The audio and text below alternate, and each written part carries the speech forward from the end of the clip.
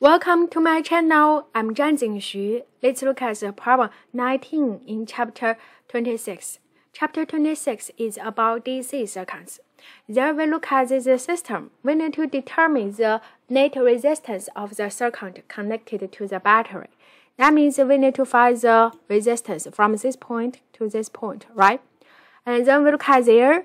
First one, at the very end, we have R1 and R2 connected in series. Do you, do you agree? So that means the equivalent resistance for R1 and R2 should be R1 plus R2 equal to 2R, right? 2R.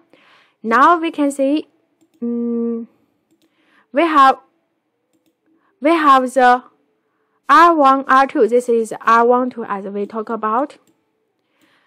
We connected in parallel with R3. Do you agree? Yes. So this part is in parallel connection. So this one we can see it is connected with R one, two, three parallel connection. So parallel connection we can use this function, this equation to get it. So that is uh, 1 over R1 2 plus 1 over R3 and then do the reverse.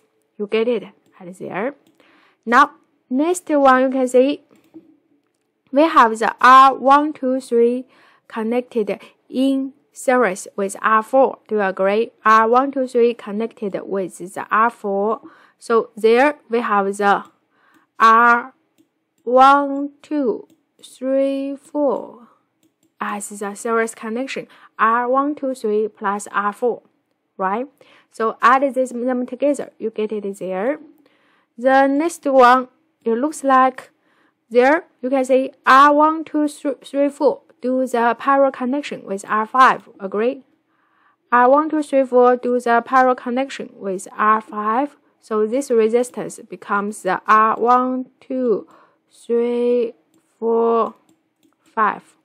So this is the parallel connection. We use the function, this function, to get it.